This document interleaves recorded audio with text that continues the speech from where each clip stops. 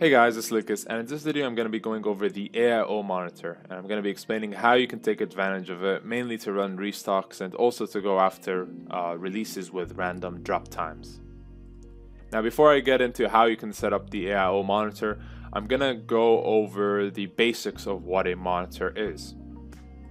If you were to go to Discord, alright, the AIO bot Discord, if you were to scroll down to the very bottom, as you can see here, there's these options that you have over here. There are the AIO monitor uh, monitors that you have over here. And each different channel is a different site. So as you can see here, these are the US foot sites. You have the Canadian foot sites. Uh, you have a channel for restocks for foot sites. You even have channels for Shopify, a different Shopify sites. You even have Supreme as well, Adidas, Yeezy Supply. And so what these monitors do is they are actively on the site pretty much monitoring to see if there's any releases or any drops that are happening. So if Footsites, for example, were to drop something, then it will pop up on the AIO monitor over here, and you'll be able to just kind of like be notified about that. Now imagine if you were able to sort of have your bot start a task whenever an item is you know released on the AIO monitor. You know, wouldn't that be a great thing? Well, lucky for you, you already do have this feature implemented within the bot and in the form of the AIO monitor. So if I were to go back to the server, as you can see over here, if I were to click on AIO monitor, it actually so shows me the different items that are releasing at the moment uh, or that are restocking. So as you can see here, if we go back to Discord, did you notice how these just restocked? Well, if you were to go over here as well, you will notice that they're actively restocking on here as well. And that's because the AIO monitor uh, in the bot is actually, you know, hooked to the Discord monitor that you could see in the Discord. So the real question is, how can you take advantage of the AIO monitor? Well, there's two ways that you could do that through AIOBot. The first way is using this window over here. So as you can see, every time an item drops, you are given the option to create and run a task. So if I were to click on this, it would basically start a task for me. But you will notice something is missing. You will notice that there is no billing profile and there is also no proxy list put or added to the task whenever you start a task. Well, how do you add these two so that when you click on the AIO monitor, it automatically inputs this for you? Well, if you were to go to the billing profile, as you can see here, there is this option that you have to favorite a billing profile. So when you're favoriting a billing profile, what you're actually doing is you're favoring it to, for the AIO monitor tasks. So if you click on this and you'd want to do the same thing for the proxy list as well. So if I were to click on favorite my proxy list, if you go back to the task tab, if you go to the AIO monitor, and this time you were to start a new task, if I clicked on create and run, as you can see, it started the new task for me, but now it has my credit card or my billing profile, and it also has my proxy list as well. Uh, right now, I'm just gonna stop these two tasks. So what I just explained was just one way to run the AIO monitor. And if I'm going to be honest, you know, this isn't really much of a monitor task as much as it's a quick task. So a quick task is what we just did, right? It's just you quickly started the task that just released. However, the true way of running the AIO monitor is actually having the bot, you know, monitor the item for you 24 7 without you having to manually click on create and run task. Right? There is a way that you could do it where the bot automatically starts a task for you based on the preset criteria that you used in the bot. Now, one way to use that would be to sort of have the positive and negative keywords set over here. However, I don't really like this method as much as I like the method that I'm about to explain. So if you were to go to add new, you have the option over here, which is the AIO monitor. As you can see here, you have different sites that you can select from, foot sites, Shopify, and Supreme. So right now, to run the AIO monitor task, you can run only restocks for one of either of these sites. So let's say you were to go for Supreme, for example. And let's say I'm going to go for Supreme US. One thing that you may realize right away is that setting up for the AIO monitor is just pretty much like setting up any normal task. As you can see here, I can set up my size as random. And for the keyword, let's say that I'm gonna run for the box logo restock. So uh, the cross box logo is just released last week. And so what Supreme often does is that after its initial release, a few days after, they may have a restock right? And these restocks are typically unannounced, they just happen randomly. And you know, so you want to sort of have the AIO monitor task running at all times and just sort of like monitoring the Supreme site until the crossbox logos restock. Right, so as you can go over here, I can put random for color as well. And then since these dropped as sweatshirts, I will select that. For billing, and for proxy, I'm just going to use my test profiles. And I'm going to go for five tasks. So if you were to click on save and go on here, you'll realize that a monitor task has been created, but we haven't started it yet. So click on this. And as you can see here, now the monitor task is running. So it's going to keep on running and it's going to stay running until an item drops on the Supreme uh, website that matches the criteria that you set over here. So it's not going to start any task until it finds an item that has these exact keywords, cross box logo. And so how does the bot know when Supreme drops anything? It's quite simple. If you go back to Discord, if you go over here, you have in the monitor section, you have the Supreme US monitor, and basically the bot is just monitoring this. As soon as an item drops here that matches the criteria uh, for that you set in the bot, it will start the task for you. And so in this case, if a crossbox logo restocks, it'll quickly start a task for you.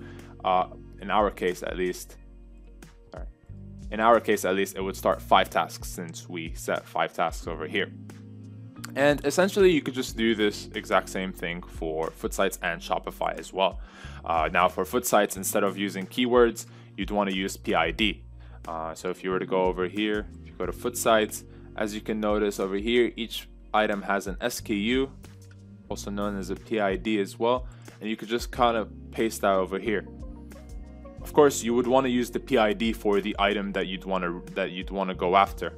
Uh, so the Yeezy Breds recently re- uh, released, you know, and Foot Sites sort of like follows the same system as Supreme, uh, where you know once an item uh, has an initial release, a few days later they may restock. And in fact, the Yeezy Breds did already restock. So what you do over here is you'd go to the Discord and you'd go to the guides, and you'd want to take the PID for the Yeezy Breds. As you can see here, that's I'm running for Foot Locker. So I can just start take the PID for this, set this, and then go to Footlocker. I have my billing profile, my proxy list set up. I can use a delay. So let's say I'm going to use like something like 5,000. And then I decide to also have five tasks. I can click on save. And as you can see here, now we have the monitor task uh, pretty much just waiting for foot sites to restock uh, or more specifically for Footlocker to restock the Yeezy breds, and that has the PID. And yeah, I mean, all this also applies to Shopify as well. So if you were to go here, Shopify, you can set up your task as well, and just pretty much, you know, go with the same process. If you don't know how to set up your task for Shopify or for Footsites or for Supreme, I will leave a link in the description. It contains a playlist that has tons of videos, including setup videos for all these different sites. Uh, you can refer to these videos, and setting up for these is pretty much very similar to setting them up for restocks. I would say the only thing that you sort of want to do different for restocks uh, that I haven't touched on yet for Shopify and for foot sites, when it comes to the delays, you want to go for something a bit higher. Uh, so normally for releases, for example, for uh, for Shopify, you may go for something like you know around 3,500. Uh, but for restocks, you may want to go for something around the 10,000 mark. And this actually applies as well for foot sites as well. you want to go for 10,000 as well So you don't have to go 10,000 exactly. You can be around that range. It could be less, more. You can just experiment and see what works for you. Uh, but yeah, you want to make sure you have uh, delays set up that are higher than your typical delays on releases. Another thing that you want to be sort of aware of is the CAPTCHA as well. Now, just because you're running restocks doesn't mean that all sites don't have CAPTCHAs. On the contrary, there are sites that do have CAPTCHAs, and so I'm to touch a bit on that. Uh, the first site that I'm to talk about is Supreme. Right, so let's say you're running a Supreme monitor task.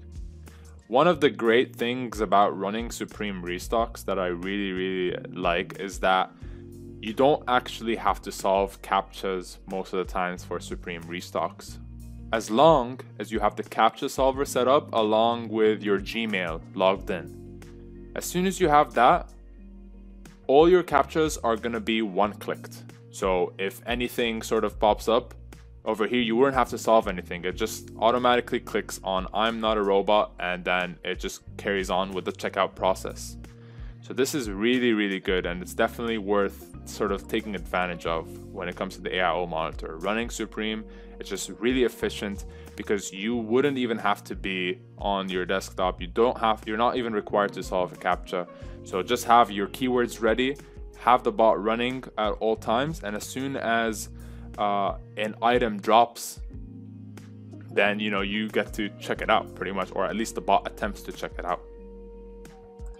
And remember, uh, for monitor tasks, you do not use any proxy data until the task starts. So if you're running residential proxies and you're running your monitor tasks, even if you run the task for 48 hours, if no item restocks with the keywords that you have set, no proxy data will be used whatsoever. Right, and that's again, that's an amazing feature that you have with the AIO monitor. Uh, the same thing applies with the DC proxies. Uh, you know, DC proxies or ISP proxies, they don't have any proxy data that you have to worry about. But when you're running tasks for so long, the entire day, like normal tasks, not monitor tasks, when you're running normal tasks, if you run these normal tasks like 24 7, at some point the site's gonna start wondering like all right there's a lot of uh, there's an abnormal number of requests coming from this particular task so we may have to ban the proxy right However, when you're running the monitor tasks 24 7, the site doesn't do that because it's not the proxy that is being used to monitor the, the task or the, to monitor the site. It's pretty much just like the bot is monitoring the uh, the Discord monitor, right? And it's not using any of your proxy data. It's just using the the monitor itself. So that's a great feature that you do have to take advantage of when it comes to the AIO monitors. You don't have to worry about proxy consumption or your proxies getting banned until the task starts. So basically, once the monitor captures the item uh, that you want, then it starts using the proxy data uh, to sort of check out the item. But to sort of go back to the topic of like the CAPTCHAs, right? Uh, just because Supreme doesn't have CAPTCHAs doesn't mean other sites don't. For Shopify, especially if the Shopify site has bot protection up, then unfortunately you will have to solve your CAPTCHAs uh, during the release. So that you know, so that means that uh, you know if you're away from your desktop and you're not there to solve the CAPTCHA, then you're just going to be stuck on this step, and the bot is not going to be able to check out the item for you. But if bot protection is down, then it may follow the similar system as Supreme, where it may be able to one click for you, especially on restocks. And so you just pretty much be able to check out the item without you having to manually solve it. Uh, and then finally, we get to foot sites. Now, with foot sites, it's a bit of a tricky subject, mainly because uh, recently, you know, as I'm recording this video, recently foot sites have been doing, uh, making a lot of changes to its site and especially its CAPTCHA as well. Uh, so at the moment, you know, you may have to manually solve the CAPTCHAs as well, even for restocks, but this may change in the future as well.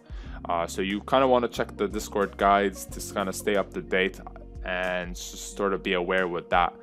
Uh, but yeah, at the moment, only Supreme really has this guarantee that you don't really have to solve any CAPTCHAs for the most part when it comes to restocks. For other sites like Shopify and Foot sites, you kind of want to uh, be a bit more wary. You know, if a restock happens, you have to try your best to sort of be at your uh, your desktop or your bot to make sure that you're actually uh, there to solve the captchas if the bot requires you to solve it.